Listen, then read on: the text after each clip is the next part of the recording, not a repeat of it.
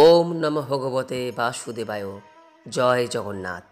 বন্ধুরা, আজ বাইশে আষাঢ়, সাতই জুলাই, রবিবার। শ্রী শ্রী জগন্নাথ দেবের রথযাত্রা শুরু হয়ে গেছে। আজ রথে চেপে নগর পরিভ্রমণে বের হয়েছেন জগন্নাথ দেব। শাস্ত্রে বলা হয়েছে, রথস্থ বাম নং দৃষ্টা পুনর্জন্ম ন অর্থাৎ রথের উপর অধিষ্ঠিত বামন জগন্নাথকে দর্শন করলে তার পুনর্জন্ম হয় না। তাই রথের দড়ি টানাকে অত্যন্ত পুণ্যের কাজ হিসেবে গণ্য করা হয়ে থাকে। প্রত্যেক বছর আষাঢ় মাসের শুক্লপক্ষের দ্বিতীয়া তিথিতে রথে চেপে মাসির বাড়ি যান জগন্নাথ দেব। সঙ্গে যান তার দাদা বলরাম এবং বোন সুভদ্রা। কিন্তু হঠাৎ মাসির বাড়ি কেন এত পছন্দ জগন্নাথ দেবের? সেই মাসির নামই বা কি? কোথায় তার বাড়ি? কেনই বা এই সময় এই রথযাত্রা উৎসব পালন করা হয়? এই সমস্ত প্রশ্নের উত্তর আজ এই ভিডিওতে ব্যক্ত করব। আশা করি দর্শক বন্ধুরা, এই ভিডিওটি আপনাকে সমৃদ্ধ করবে। নমস্কার দর্শক বন্ধুরা, অমৃত কথা এই চ্যানেলে জানাই আপনাদের সুস্বাগতম। বন্ধুরা, রথযাত্রা সম্পর্কিত যে পৌরাণিক তথ্য আমরা পাই, তাতে বলা হয়েছে অনেক দিন আগের কথা। পূর্ব ভারতে কলিঙ্গ নামে একটি রাজ্য ছিল, যাকে আমরা বর্তমানে উড়িষ্যা বলে থাকি। সেই সময় এই কলিঙ্গের রাজা ছিলেন ইন্দ্রদ্রুম। তিনি ছিলেন বিষ্ণুর পরম ভক্ত। তিনি তার নিজের রাজ্যে গড়ে তুললেন একটি মন্দির, যার নাম শ্রীক্ষেত্র। এখন যাকে আমরা বর্তমানে চিনি জগন্নাথ ধাম হিসেবে। কিন্তু মন্দিরে কোনো বিগ্রহ ছিল না। একদিন এক তেজস্বী সন্ন্যাসী তার রাজসভায় পদার্পণ করলেন। ভক্তিপরায়ণ রাজা ইন্দ্রদ্রুম পরম যত্নে সেই সন্ন্যাসীর সেবা যত্ন করলেন। সন্ন্যাসী ভারতবর্ষের সমস্ত তীর্থক্ষেত্রের কথা বলে পুরুষোত্তম ক্ষেত্র নীল পর্বতে ভগবান বিষ্ণুর পূজার কথা জানালেন। সেখানে ভগবান বিষ্ণু গুপ্তভাবে সবর জাতিদের দ্বারা নীল মাধব রূপে পূজিত হচ্ছেন। ইনি ভগবান বিষ্ণুরই এক রূপ। নীলমাধব সাক্ষাৎ মুক্তি প্রদায়ক তিনি মোক্ষ প্রদান করেন। সন্ন্যাসীর কথা শুনে ভগবান বিষ্ণুর পরম ভক্ত রাজা ইন্দ্রদ্রুম ভগবানের এইরূপ রূপ দর্শনে আকুল হলেন। এরপর রাজা নীলমাধবকে খুঁজতে লোক লস্কর পাঠালেন। কিন্তু নীলমাধবকে পাওয়া কি অতই সহজ খুঁজে পেলেন না কেউই। সকলেই ফিরে এলেন। কেবল ফিরলেন না, রাজার পরম বিশ্বস্ত ব্যক্তি বিদ্যাপতি। বিদ্যাপতি শবরদের দেশে এসে শবরদের রাজা বিশ্ববসুর সঙ্গে সাক্ষাৎ করলেন। শবররাজ বিশ্ববসু বিদ্যাপতিকে সাদর অভ্যর্থনা করে অতিথি সেবার জন্য নিজের কন্যা ললিতাকে দায়িত্ব দিলেন। কিছুদিন সেই স্থানে থাকার পর ললিতার সঙ্গে প্রেম হয় বিদ্যাপতির। এবং শেষ পর্যন্ত তা বিবাহের পরিণতি পায়। বিদ্যাপতি সেই জঙ্গলেই সুখে বাস করতে লাগলেন। বিবাহের পর বিদ্যাপতি দেখলেন, রোজ সকালে সবর রাজ বিশ্ববসু কয়েক ঘণ্টার জন্য জঙ্গলের কোথাও যান।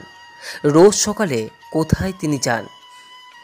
এই প্রশ্ন তিনি তার স্ত্রী ললিতাকে করে জানতে পারলেন যে জঙ্গলের মধ্যে একটি গোপন জায়গায় নীলমাধবের পূজা করতে যান।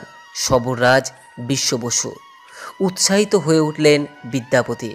নীলমাধবের সন্ধান এতদিনে পাওয়া গিয়েছে। তখন আর ছাড়া যাবে না। তিনি তার শ্বশুর মশাই বিশ্ববসুর কাছে নীলমাধবকে দর্শন করার জন্য অনুরোধ করলেন। বিশ্ববসু প্রথমে রাজি না হলেও অবশেষে মত দিলেন। তবে শর্ত দিলেন যে বিগ্রহ পর্যন্ত চোখ বেঁধে যেতে হবে বিদ্যাপতিকে। বিদ্যাপতি তাতেই রাজি হয়ে গেলেন। কিন্তু বিদ্যাপতি একটি বুদ্ধি করেন। উনি যখন চোখ বন্ধ অবস্থায় নীলমাধবকে দেখতে যান, সঙ্গে সর্ষে নিয়ে যান। হাতে এক মুঠো এক মুঠো করে সর্ষে নিয়ে সারা রাস্তা ফেলতে ফেলতে যান। এই সমস্ত কাজই বিশ্ববসুর অগোচরেই সম্পন্ন হয়। বিদ্যাপতির উদ্দেশ্য ছিল নীলমাধবকে পুরীতে নিয়ে যাওয়া। এতদিনে নীলমাধবের সন্ধান পাওয়া গেছে। এই খবর তিনি রাজা ইন্দ্রদ্রুমের কাছে পাঠান। রাজা ইন্দ্রদ্রুম, সৈন্য সামন্ত নিয়ে নীলমাধবকে দর্শন করতে গিয়ে শুনলেন, নীলমাধব অন্তর্ধান হয়েছে। রাজা ইন্দ্রদ্রুম এতে খুবই দুঃখ পেয়ে ভাবলেন, প্রভুর দর্শন যখন পেলাম না, তখন এই জীবন রেখে কী লাভ? অনশনে তিনি প্রাণ ত্যাগ করার মনস্থির করলেন। এই ভেবে রাজা ইন্দ্রদ্রুম কুশসজ্জায় শয়ন করলেন। আর তখনই দৈববাণী হলো হে রাজন, তোমার প্রাণ ত্যাগের প্রয়োজন নাই। এই স্থানে তোমার মাধ্যমে ভগবান জগন্নাথ দেব দারু ব্রহ্মরূপে পূজা পাবেন। সমুদ্রের জলে ভেসে আসবে যে কাঠ, সেই কাষ্ঠখণ্ড থেকেই তৈরি হবে শেষ পর্যন্ত দৈববাণী সত্য হলো, সমুদ্র ভেসে আসলো জগন্নাথ দেবের বিগ্রহ নির্মাণের কাঠ। হাজার হাজার হাতি, ঘোড়া, সেপাই, লোক, লস্কর নিয়েও সমুদ্র থেকে সেই কাঠ তোলা গেল না। শেষ পর্যন্ত একদিকে ধরলেন সবররাজ আর অন্যদিকে ধরলেন ব্রাহ্মণ পুত্র বিদ্যাপতি। জগন্নাথ দেব এর দ্বারা বোঝালেন, তাঁর কাছে ব্রাহ্মণ বা সবর কোনো ভেদাভেদ নেই, সকলেই সমান। মহারাজ এরপর তার কারিগরদের লাগালেন মূর্তি গড়তে। কিন্তু সেই কাঠ এমনই পাথরের মতো শক্ত যে ছেনি, হাতুড়ি সমস্ত কিছুই ভেঙে গেল। কিন্তু মূর্তি হলো না। তাহলে উপায়, মূর্তি গড়বে কে? মহারাজের আকুলতা দেখে বৃদ্ধের বেশে হাজির হলেন স্বয়ং বিশ্বকর্মা। তিনিই গড়বেন মূর্তি। তবে শর্ত দিলেন, একুশ দিন আগে তিনি নিজে দরজা না খুললে কেউ যেন তার ঘরে না আসে। শুরু হলো মূর্তি গড়ার কাজ। দরজা বন্ধ অবস্থায় এই মূর্তি তৈরি হতে লাগল। কিন্তু এদিকে রাজার রানী গুন্ডিচার মন কিছুতেই মানতে চায় না। স্বভাবে নারী জাতির মন চঞ্চলা হয়। নারী গুন্ডিচা ভাবলেন, এই বদ্ধ দরজা একবার খুলেই দেখি কেমন হচ্ছে শ্রী বিষ্ণুর বিগ্রহ। এই ভেবে মহারানী চোদ্দ দিনের মাথায় শেষ পর্যন্ত কৌতূহল নিবারণ না করতে পেরে দরজা খুলে দিলেন। আর দরজা খুলেই দেখতে পেলেন বৃদ্ধ কারিগর উধাও হয়ে গেছেন। পড়ে আছে তিনটি অসমাপ্ত মূর্তি, যার হাত পা কিছুই করা হয়নি। অনুশোচনায় আরও ভেঙে পড়েন রাজা ইন্দ্রদ্রুম এবং রানী গুন্ডিচা। সেই দিনই রাজা ইন্দ্রদ্রুমকে স্বপ্নাদেশ দিলেন স্বয়ং জগন্নাথ দেব।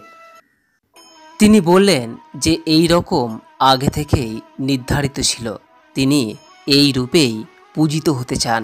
আর এরপর থেকেই এইভাবেই ভক্তদের মধ্যে জনপ্রিয়তা লাভ করে জগন্নাথ দেব। এবার আসা যাক রথের কথায়। জগন্নাথ দেবের প্রধান অনুষ্ঠান হল এই রথযাত্রা। এই দিন দাদা বলরাম ও বোন সুভদ্রার সঙ্গে মাসির বাড়ি যান জগন্নাথ। মাসির বাড়ি অর্থাৎ ইন্দ্রদ্যুম্নের পত্নী গুন্ডিচার বাড়ি। সেখান থেকে আবার সাত দিন পর মন্দিরে ফিরে আসেন জগন্নাথ। এটাকেই মাসির বাড়ি যাওয়া বলে।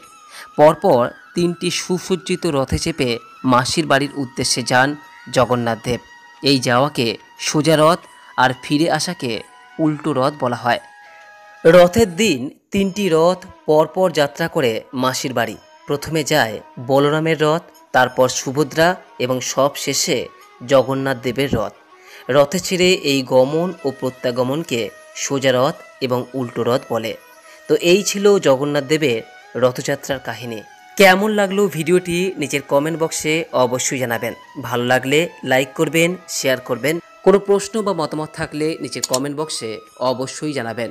সকলেই ভালো থাকুন, সুস্থ থাকুন, এই কামনা করে আজকের ভিডিওটি এখানেই শেষ করলাম। জয় শ্রী জগন্নাথ।